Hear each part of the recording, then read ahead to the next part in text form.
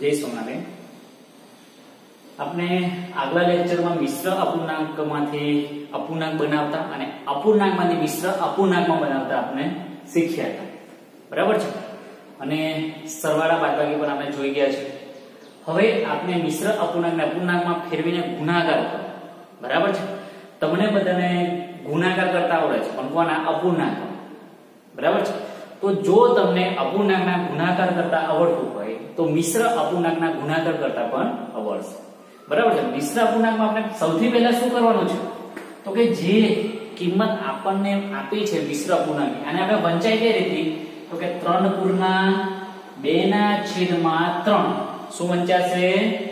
3 પૂર્ણાંક 2 ના છેદમાં 3 આ શું વંચાશે? તો કે 2 પૂર્ણાંક 2 ના છેદમાં 4 બરાબર છે? અને આ શેની નિશાની છે? તો કે આ નિશાની છે ગુણાકાર. બરાબર છે? તો આની વચ્ચે આપણે શું કરવાનું છે? તો ગુણાકાર. બરાબર છે? પણ એની પહેલા આપણે શું કરવું પડશે ગુણાકાર કરતા પહેલા? તો એની પહેલા આપણે શું કરવું પડશે? મિશ્ર અપૂર્ણાંકને અપૂર્ણાંકમાં ફેરવવા પડશે. બરાબર છે? અપૂર્ણાંકમાં ફેરવવાની માટે તમને રીત ખબર છે. કઈ? તો કે પૂર્ણાંક અને છેદનો ગુણાકાર કરવાનો અને બે સાથે સરવાળો કરવાનો. બરાબર? સિમ્પલ છે. એક સ્ટેપ આપણે વધારે કરીશું. તો જુઓ, કઈ રીતે આપણે કરવાનું છે? 3 ગુણ્યા 3 3 ગુણ્યા 3 બરાબર છે? 3 ગુણ્યા 3 વત્તા 2 બરાબર છે? છેદમાં, તો કે આના છેદમાં જે આપ્યું હોય તે આપણે છેદમાં લખવાનું. બરાબર છે? થોડું ખાસ ધ્યાન રાખજો. બીજું જો, હવે આનો શું થશે? તો કે પૂર્ણાંક અને છેદનો ગુણાકાર કરવાનો. બરાબર છે? તો કે 2 ગુણ્યા 4 થશે. બરાબર છે? વત્તા 2 છેદમાં 4 બરાબર છે? આ તો આપણે એક સ્ટેપ આપણે વધારે કર્યું છે. બાકી, આની અંદર આપણે શું કર 3 3 9 9 ને 2 11 11 ના છેદમાં 3 આમાં 4 2 8 ને 2 10 10 ના છેદમાં 4 બરાબર? એકદમ સિમ્પલ છે. હવે ધ્યાનથી જુઓ 3 3 9 9 વત્તા 2 છેદમાં 3 બરાબર છે? કઈ રીતે ખબર પડી ને? 3 ગુણ્યા 3 આ બંનેનો ગુણાકાર કર્યો છે એટલે 3 3 9 વત્તાની નિશાની વત્તાની અને છેદમાં બીજા કેટલા છે? વત્તા 2 અને છેદમાં 3 બરાબર છે? આટલો ખ્યાલ આવ્યો? હવે જો બીજી કઈ નિશાની છે? તો કે ગુણાકારની, બરાબર તો ગુણાકારની નિશાની આપણે મૂકી છે. હવે જો 2 ગુણ્યા 4 કેટલા થશે? 4 દુ 8 બરાબર છે ને? તો કે 8 વત્તા 2 છેદમાં 4 ખબર પડી બધાને? હવે જો 9 ને 2 11 11 ના છેદમાં 3 ગુણ્યા 8 ને 2 10 10 ના છેદમાં 4 બરાબર છે? હવે આ થયું આપણે અપૂર્ણાંકમાં ફેરવ્યું છે. શું કર્યું છે? ખાલી અપૂર્ણાંકમાં ફેરવ્યું છે. હવે આપણે ગુણાકાર માટે રીત શું છે? તો કે અંશનો અંશ સાથે ગુણાકાર અને છેદનો છેદ સાથે બરાબર છે ને? અપૂર્ણાંકના ગુણાકાર કઈ રીતે થાય તો કે અંશનો અંશ સાથે ગુણાકાર અને છેદનો છેદ સાથે ગુણાકાર. અંશનો અંશ સાથે ગુણાકાર આપણે કરીએ તો કરો જે પોતાની નોટમાં કે 11 ગુણ્યા 10 કેટલા થશે? તો કે 110 બરાબર છે ને? 11 10 110 છેદમાં 3 4 12 બરાબર છે? તો આ જે આપણો આવ્યો છે તે આપણો જવાબ. બરાબર છે? તો હવે મેં તમને એવું કહું કે તમારે આજે હોમવર્કમાં શું કરવાનું છે? તો કે આપણો જે જવાબ આવ્યો છે એને આપણે શું કરવાનું છે? મિશ્ર અપૂર્ણાંકમાં ફેરવવાનો છે. બરાબર છે? મિશ્ર અપૂર્ણાંકમાં શું કરતા હતા? તો કે 110 ભાગ્યા બાર કરશે. બરાબર છે? તો કોઈ એક એવી સંખ્યા મળશે કે જે પૂર્ણ પૂર્ણમાં આવશે કે 110 થી વધી ના જાય. બરાબર છે? તો એની સાથે આપણે શું કરવાનું? તો કે એની સાથે અને જે જવાબ આવે, જે ઉપર આપણે ભાગાકાર કરે છે ને, જે ઉપર આવે, એને આપણે શું કરવાનું? પૂર્ણાંકમાં લખવાનું. જે આપણો નીચે વધે છે, એક શેષ જેવું કે વધે છે. એના છેદમાં જેની વડે આપણે ભાગીએ આપણો જવાબ. બરાબર છે ને? મિશ્ર પૂર્ણાંકમાં ફેરવી દઈશું. બરાબર? હવે બીજો દાખલો જુઓ. ચલો. જે જે વિદ્યાર્થીઓને પહેલા દાખલામાં પૂરી ખબર ના પડી હોય રીત આખી સેમ જ છે આ જ પ્રમાણે આપણે કરાવવાના છે તો બીજો દાખલો પણ ધ્યાનથી જોવાનો છે. બરાબર છે? ચાલો. આ શું છે? મિશ્ર અપૂર્ણાંક છે. મિશ્ર અપૂર્ણાંકનો અપૂર્ણાંકમાં ફેરવે અપૂર્ણાંકમાં ફેરવા માટે શું કરવાનું છે? તો કે પૂર્ણાંક અને છેદની જે સંખ્યા છે એનો ગુણાકાર અને અંશમાં જે આપ્યું છે એનો સરવાળો. બરાબર છે? સિમ્પલ છે ને? તો કે જુઓ 5 ગુણ્યા એક વત્તા ત્રણ છેદમાં એક. બરાબર છે? બીજું નિશાની કઈ છે? ગુણાકાર. બરાબર? ચાર ગુણ્યા બે વત્તા બે છેદમાં બે. બરાબર છે? આટલી ખબર પડી બધાને? જો એકદમ સિમ્પલ શું તાકે છેદ અને પૂર્ણાંક સંખ્યાનો ગુણાકાર. ચલો ગુણાકાર કર્યો છે.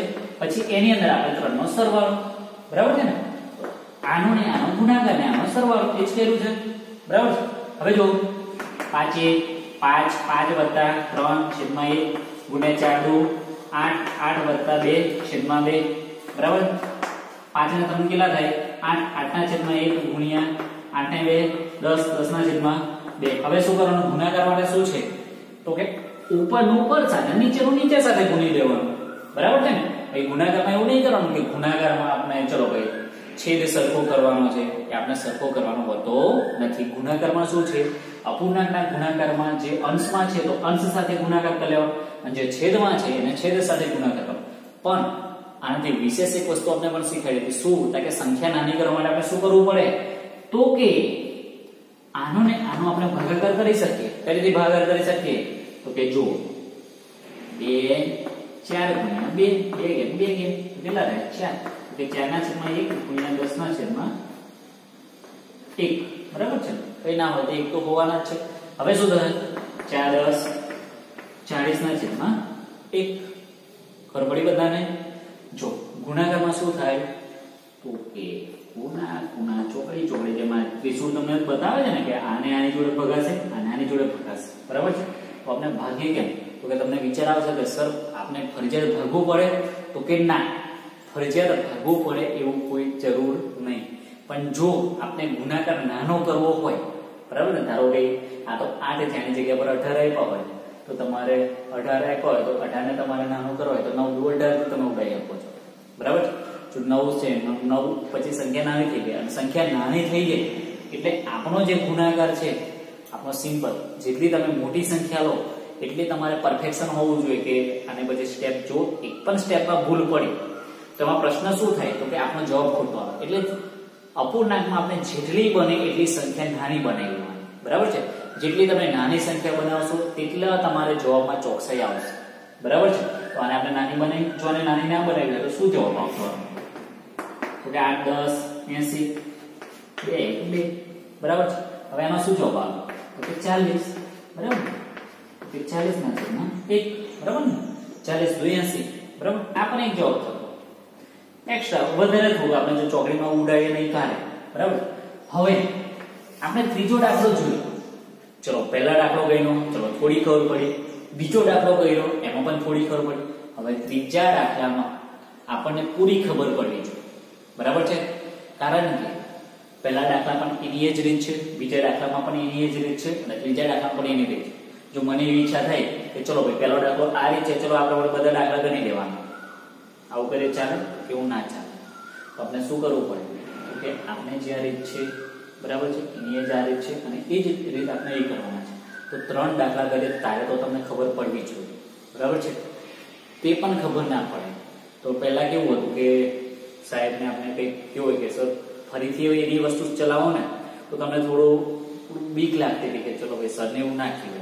મને ખબર નહીં પડી. પણ હવે આપણે ઓનલાઈનનો એક ફાયદો છે. શું? તો કે સરને આપણે રિવર્સ કરવો છે. ચલો ભાઈ સર, આ ડાયગ્રામ મને ખબર નહીં પડી. તમારે બોલ્યા વગર જ ખાલી મોબાઈલમાં રિવર્સ કરો. તો ચલો ભાઈ રિવર્સ એટલે ફરીથી આપણે સમજ જેટલી વાર તમારા સરને તમે જેટલી વાર ભણાવવા કહો, એટલી વાર સર તમને ઓનલાઈન ભણાવશે. બરાબર છે? પણ સરને તમારે કહેવાનું નહીં. પોતાની જાતે જ કરવાનું. શું? કે મને ખબર નહીં પડે. ચલો ફરીથી જુઓ. મને ખબર નહીં પડે. ફરીથી જુઓ. બરાબર છે? હવે, ત્રીજો દાખલો છે આપણે ધ્યાન રાખવાનો છે. ત્રીજા દાખલામાં શું છે? તો કે ત્રીજા દાખલા પણ સેમ જ. કિંમત છે. બરાબર છે? મિશ્ર પૂર્ણાંક અપૂર્ણાંકમાં ફેરવવાનું અને પછી આપણે શું કરવાનું? ગુણાકાર કરવાનો છે. બરાબર છે? હવે જો આની અંદર પણ તમારે શું કરવાનું છે? તો કે આની અંદર તમારે મિશ્ર પૂર્ણાંકમાં ફેરવી દેવાનું. બરાબર કઈ રીતે આવશે? તો કે તમને ભાગાકાર રીત ખબર છે? ચાલીસ એક, ચાલીસ. બરાબર? આ તમને એવી રીતે સર આમાં તો કે ભાગ ચાલુ રાખવું હશે તો કઈ રીતે? ચાલીસ ભાગ્યા એક. ચાલીસ ચાલીસ શૂન્ય. બરાબર? તો શેષ કેટલો છે? કે શૂન્ય હોય. તો શૂન્ય છે, નહીં? બરાબર? કઈ કઈ કરવાનું થાય નહીં, પણ આ પેરા કરવાનું. બરાબર? એનાથી આપણને પાકું થાય. બરાબર? હવે જો ત્રણ છે. ત્રીજા દાખલામાં આપણે શું છે? એક પૂર્ણાંક બે ના છેદમાં ચાર ગુણ્યા પાંચ પૂર્ણાંક બે ના છેદમાં એક. બરાબર છે? આપણે જ્ઞાની અંતિ રકમ છે, તો એને આપણે ફેરવશું તો શું થશે? તો કે ચાર ગુણ્યા એક થશે ચલો ચાર ગુણ્યા એક જો જેને અંશ અને છેદ અને પૂર્ણાંક એ બધું યાદ ના રાખો તો શું કરવાનું ચાર ગુણ્યા એક અને વત્તા બે બરાબર તો કે ચાર ગુણ્યા એક વત્તા બે છેદમાં ચાર ગુણ્યા પાંચ ગુણ્યા એક વત્તા બે છેદમાં એક બરાબર છે તો કે ચાર એક ચાર ચાર વત્તા બે છેદમાં ચાર ગુણ્યા પાંચ વત્તા બે છેદમાં એક બરાબર? ચાર ને બે કેટલા થાય, છ છ ના છેદમાં ચાર ગુણ્યા પાંચ ને બે કેટલા થાય, સાત સાત ના છેદમાં એક. બરાબર ને? સાત, છ, બેતાલીસ. બેતાલીસ ના છેદમાં ચાર. બરાબર? છ, સાત, બેતાલીસ. સાત, છ, બેતાલીસ. બેતાલીસ ના છેદમાં ચાર. ચાર કઈ રીતે આવે? આનો જોડે ગુણાકાર? આનો આની જોડે. જો વધારે કે સ્ટેપ કરવું હોય, તો છ ગુણ્યા સાત છેદમાં ચાર ગુણ્યા એક. બરાબર? છ, સાત બેતાળીસ છેદમાં ચાર એક. બરાબર છે? તો આ થયું તમારે મિશ્ર અપૂર્ણાંક અપૂર્ણાંકમાં ફેરવી એનો ગુણાકાર કરવાનો છે. બરાબર છે? તો બધાને ખ્યાલ આવી ગયો છે? અને જે જે વિદ્યાર્થીઓને ખ્યાલ ના આવ્યો હોય, તે વિદ્યાર્થીઓ ફરીથી વીડિયો જોવે અને ફરીથી એની વધારે વધારે પ્રેક્ટિસ કરે. બરાબર છે? તો આટલું આ લેક્ચરમાં આપણે આટલું રાખીએ છીએ. આવતા લેક્ચરમાં આપણે ભાગાકાર ચલાવીશું બરાબર છે? તો જઈશું.